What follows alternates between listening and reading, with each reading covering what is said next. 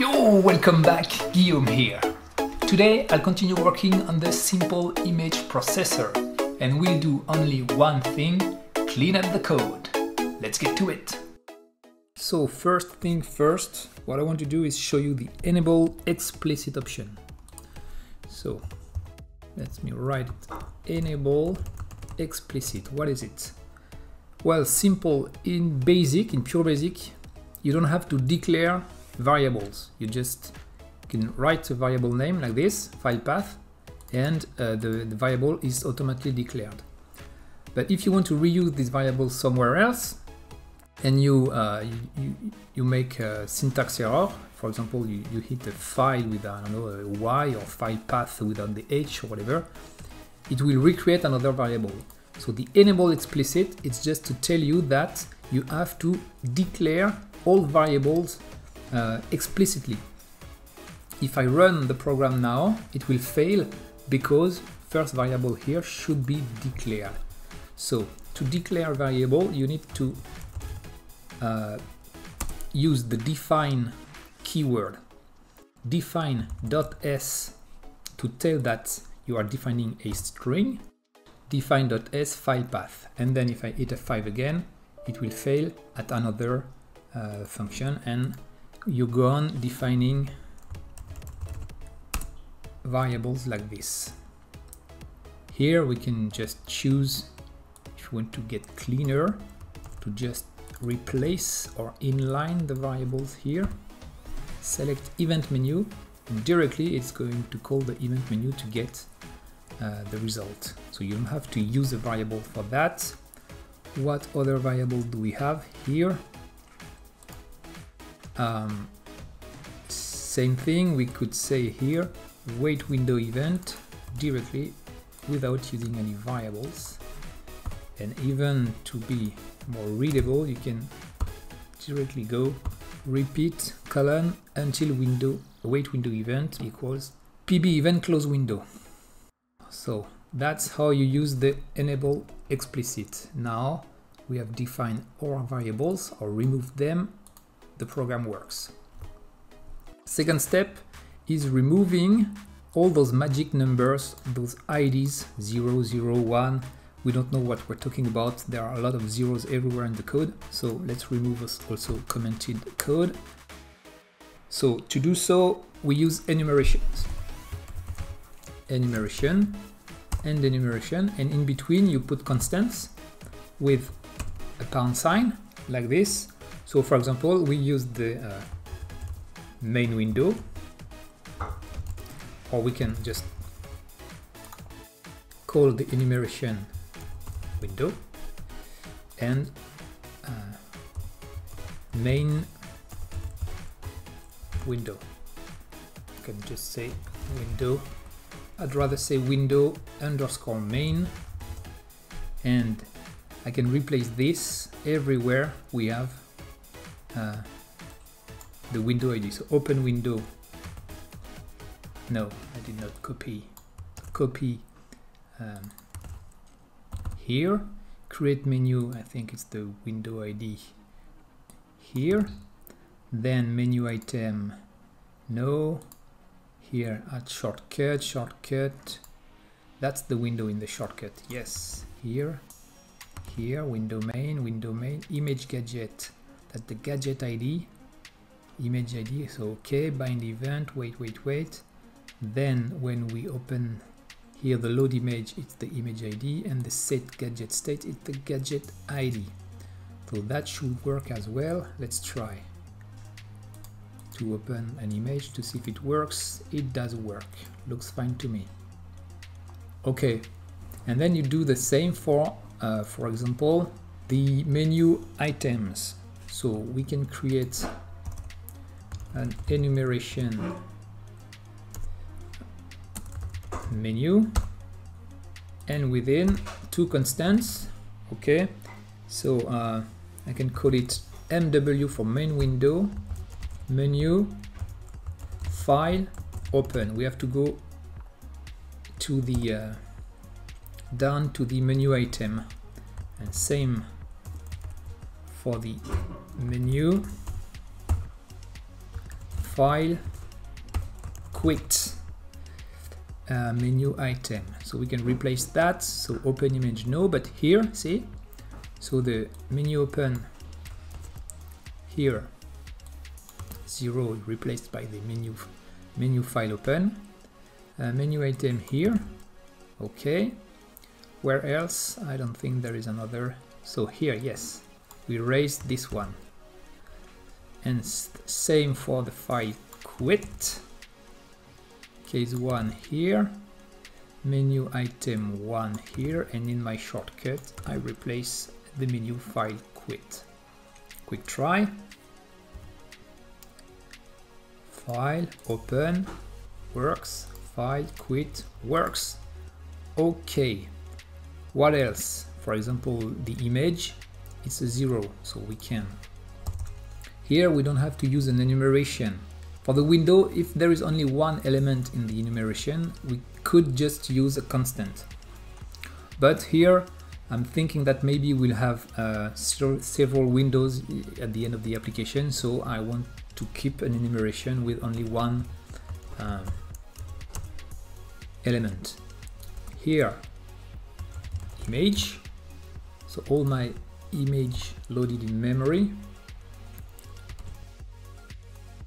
image main, and I will use this as the image ID but it's only used here and here. Gadgets okay same thing.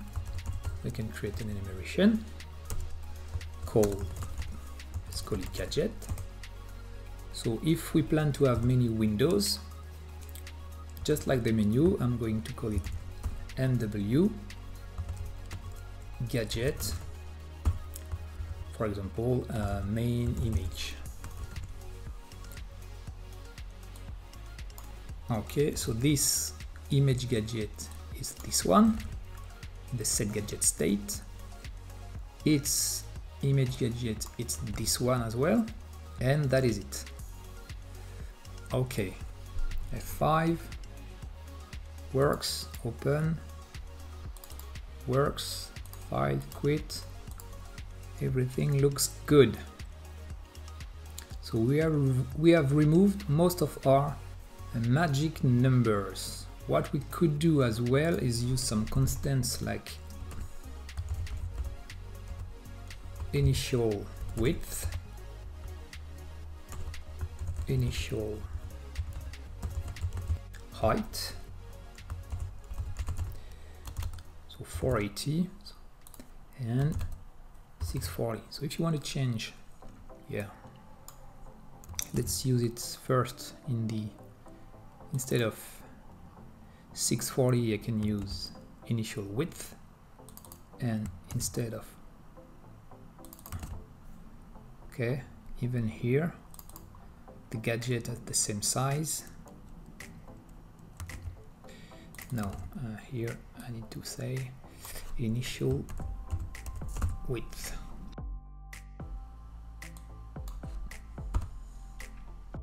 Okay.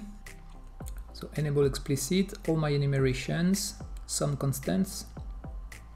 And the only zeros that, oh, we have this one, I forgot about it, menu. Okay, so, so far we're gonna have only one menu, but I'm still going to put it into an enumeration just to be consistent with the other guys. So here I'm going to call the enumeration menu item. And here I'm going to call the enumeration menu. And I will call the constant within main. And I will move that up over for example so we get the window the menu the menu item then the gadgets and even this one.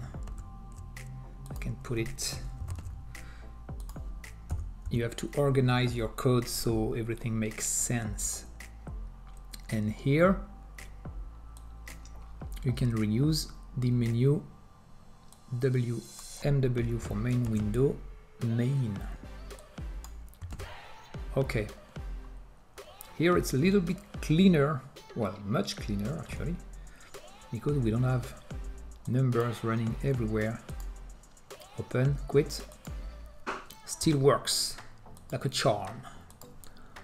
All right, now, what else can we do? I'm not very fond of this way of doing this, so we can find another way to bind the event, and it's a quick one. Just look, we have uh, the open image on menu, okay. So here, for example, for the quit, we are relying on this here or on this piece of code. So to close the window, to terminate the application, we have two ways. Either on, in this uh, function, in this procedure, when from the menu or from the event here. So we want to make this uh, the same. What we are going to do is create another procedure just called quit. And in the quit procedure, I will do if message requester are you sure you want to quit and with a flag so here I can add a flag. Pb message requester yes no. And if this equals pb message requester yes. Then what do I do? I end the code. And if here we are. And then instead of ending it here I can call quit. Okay. And instead of relying on this event here what I can do is I can loop forever by doing so colon okay so uh, I will cut this and here say forever. No, ever. Yes. So I will repeat this loop forever, wait window event. Every time there is an event, it will repeat the loop, but the actual event handling will be done with a new bind event. Bind event. And here it's what I... So for the event close window, I will bind it to quit and that's it. Let's check. Run, Control Q. Are you sure you want to quit? No. Cross? No. File, quit? No. Last try here. No. Even Alt F4? No. See, you have many ways to terminate the application and all of them go through the same code Yes, I'm sure. And last is comments. Comments.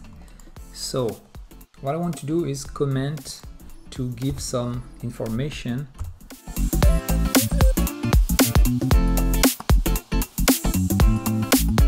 then I can copy paste just this part to have the same length okay open image. Okay. All right, and finally this code here is, is, is basically the main function just the main in C language. So let's say main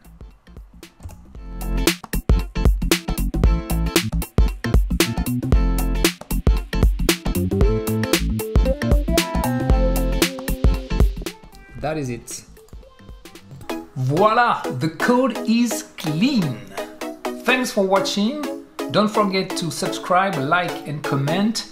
I will see you in the next video.